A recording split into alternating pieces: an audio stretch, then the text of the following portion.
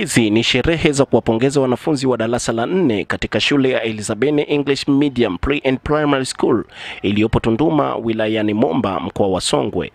Imeshika nafasi ya kwanza ngazi ya halmashauri, nafasi ya kwanza kimkoa, lakini pia nafasi ya ishirini na saba kitaifa kati ya shule 13182 katika kundi la shule zilizo zaidi ya wanafunzi 40. Wazazi wa wanafunzi hao wameipongeza shule kwa kushika nafasi ya kwanza kimkoa, kwani wameipeperusha bendera ya mkoa wetu wa Songwe. Nakupongeza sana dada mkurugenzi, samani mkurugenzi na sababu hapa kadiri mnavyosema tulikuwa tunagugu hapa kufuatilia. Nawapongeza sana na imani Mungu akitusaidia kumi bora mwaka kesho tutakuwepo. Eh. Napenda kuwapa pongezi kwa kazi yenu nzuri.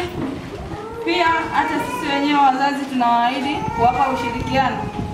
Cha msingi kinachotakiwa kama ushauri, kuwa na ushirikiano na ofisi yako. kuwa hakuna uchawi wa kufaulisha, isipokuwa ni ushirikiano kati ya mwenye shule na watumishi. Kinachochangia kupoteana ni migogoro tu. Tunayo furaha kama wazazi kwa sababu kitu wanasema chema chajiuza, kibaya chajitembeza. Kwa hiyo hongereni sana. Hatua hii hapa mlipofikia, msibweteke, labda iwe ndo gia tena ya, ya kuendelea mbele. Mungu awasaidie sana. Shukuru wazazi wote kwa ushirikiano ambao mliuonyesha kwetu. Mwaka jana haukuwa mwaka rahisi hivyo kuweza kufikia matokeo haya au kufikia mafanikio haya. Changamoto zilikuwa ni nyingi, lakini nashukuru kwa ule ushirikiano mliotupa na mliouonyesha kwetu. Katika hilo nawashukuru sana wazazi. Kwa niaba ya walimu wenzangu nasema asanteni sana, nawashukuru.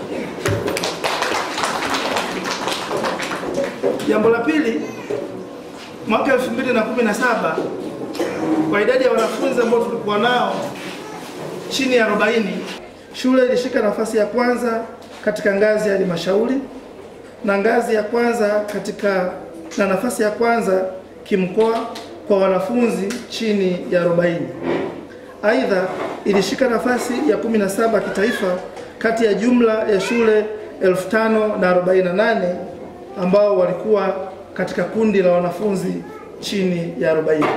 Tulipofika sasa 2018 idadi ya wanafunzi kwanza iliongezeka tukawa na wanafunzi hamsini na moja.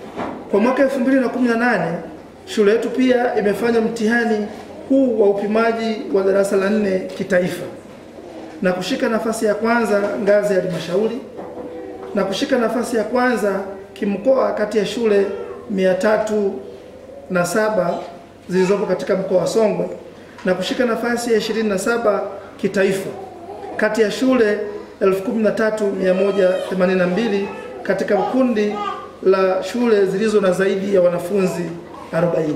Sisi tukishirikiana pamoja na wazazi, leo hii ndo matunda haya tunayaona. Wazazi nawashukuru sana. Anven Silomba mkurugenzi wa Elizabeni amewashukuru sana walimu na wazazi kwa kushirikiana pamoja. Hii ni tafrija fupi ambayo tumeona kuna haja ya kukaa pamoja wazazi na watoto waliofanya mtihani mwaka jana ili tuweze kuwapa mkono wa asante na wahongera kwa kile walichokifanya.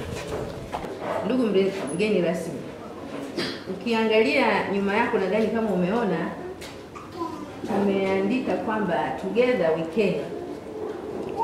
Kwa Kiswahili chake kwa pamoja tunaweza.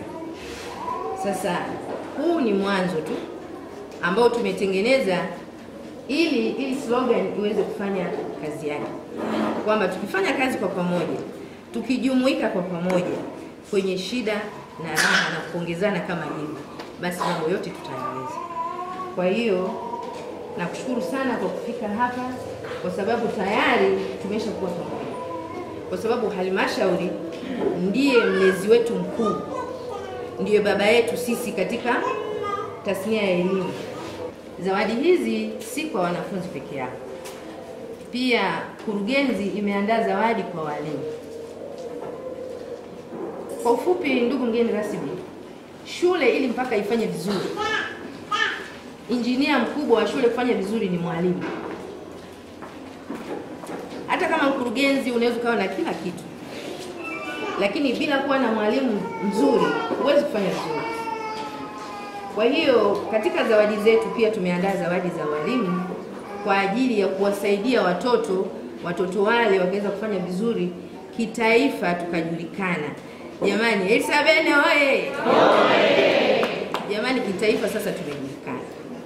Tulikuwa wa kwanza katika mkoa wetu, lakini tumekuwa namba 27 kitaifa kati ya shule elfu kumi na tatu na zaidi.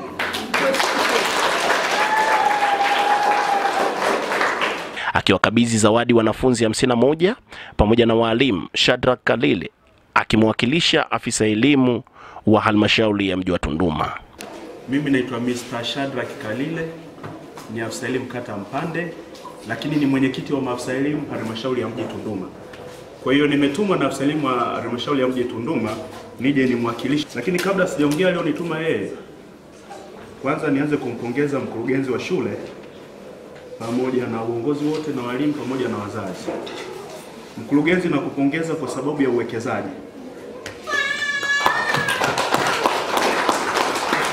Tunduma hii tunaiona, miaka michache ya nyuma ukirudi, tulikuwa hatuna private school.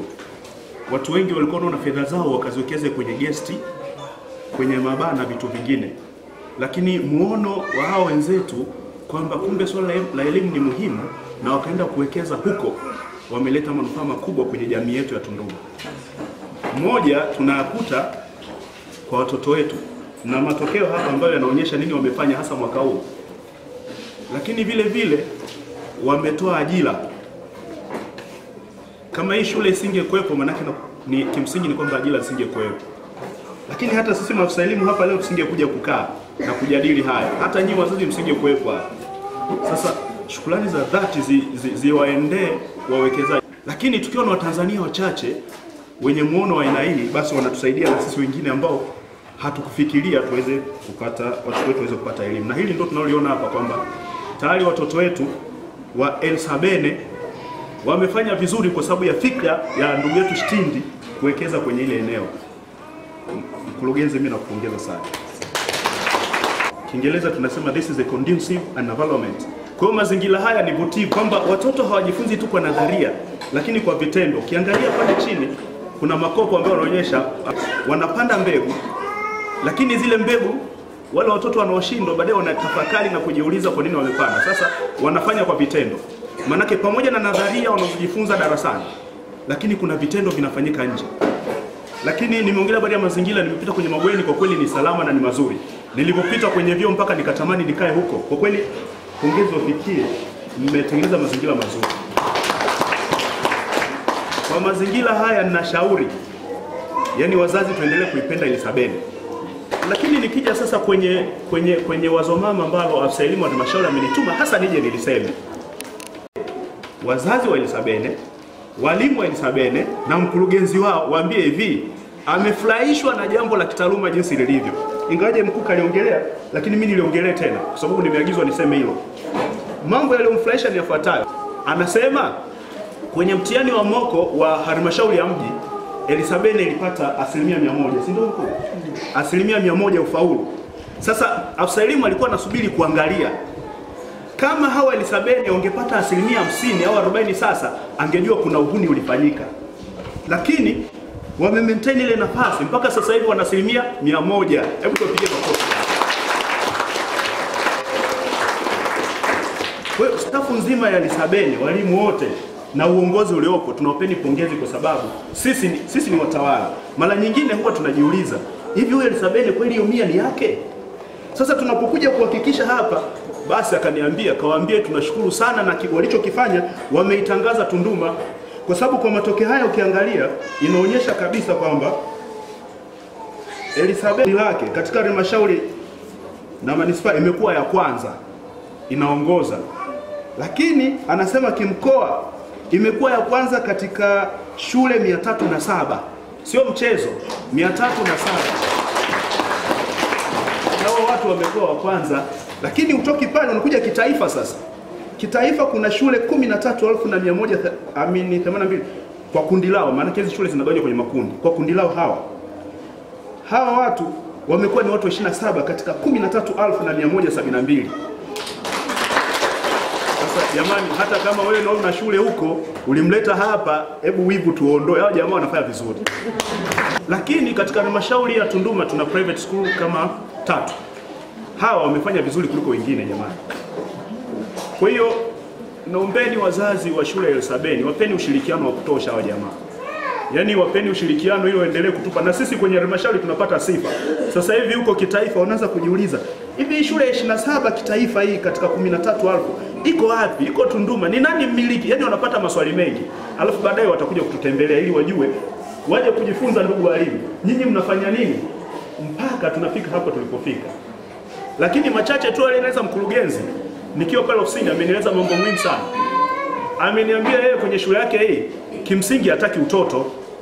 Nikisema utoto watu wengi wanielewi, lakini nina maana hii, kuna baadhi ya shule zina tabia kuiba mitihani, ule tunaita utoto. Sasa ndio maana tulikuwa tunamwangalia Elisabeni alipopata asilimia mia kwenye moko, tulikuwa tunamwangalia je, kwenye taifa, maana kule kuna usimamizi mkali zaidi. Je, kwenye taifa nako anapata mia? Sasa baada ya kupata mia na maneno aliyoongea mkurugenzi na mkuu wa shule yanashabihiana, yanaweza mkubaliano fulani kwamba ni kweli they, they, they are very serious na wanataka kufanya kitu serious, na kwa mikakati aliyoniambia na ameisoma mingine kwenye risala mkuu hapa wa shule kwamba 2019 wamepania zaidi.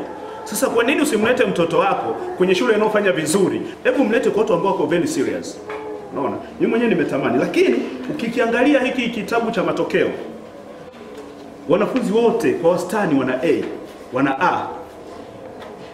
Ina maana mzazi uliokaa hapa mtoto wako ana A. Sasa tukimaintain tukimaintain status hiyo, maanake tunaenda darasa saba, tuna hakika watoto wote wanaenda vipaji, si ndio?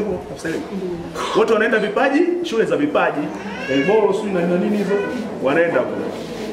Kwa mimi nawashauri jamani, msiwavunje moyo walimu wetu hapa, hata kama binadamu siku zote anaweza kuwa na mapungufu kidogo, lakini watieni moyo, msapotini mkurugenzi ili shule iendelee kufanya vizuri, lakini isaidie jamii ya Tunduma. Hapa nafikiri mkurugenzi, baadaye unaweza kujenga hadi sekondari hapo baadaye, maana tunazidi kukua. Si ulianza na nasari?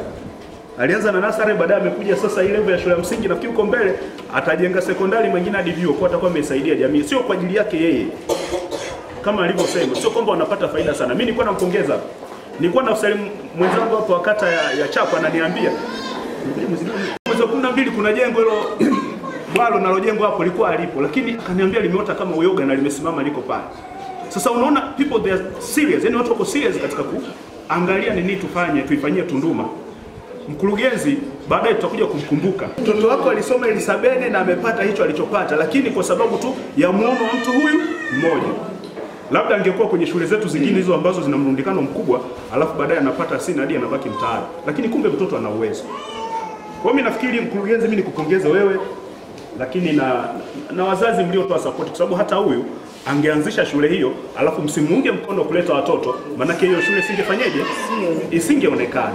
Lakini kwa kitendo ambacho mmemwamini mkampa watoto, naye amejiaminisha kwamba anaweza na amefanya, na leo ndio matokeo tunaona kwamba ni mazuri. Sasa Absalemu ameniagiza kwamba wapongeze staff, pongeza uongozi, pongeza na wazazi kwa namna walivyoshikamana na hatimaye matokeo haya yakawa wote wanafunzi mkuu, labda nimeangalia vibaya, lakini wote, kwa ujumla wake waliofanya hamsini na moja wana alama wastani A, hakuna aliye chini ya A.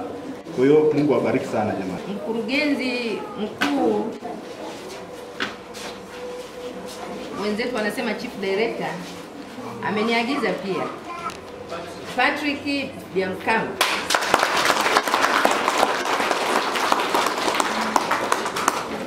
Hongera. Na Somo la sayansi ni Wilfred Omar.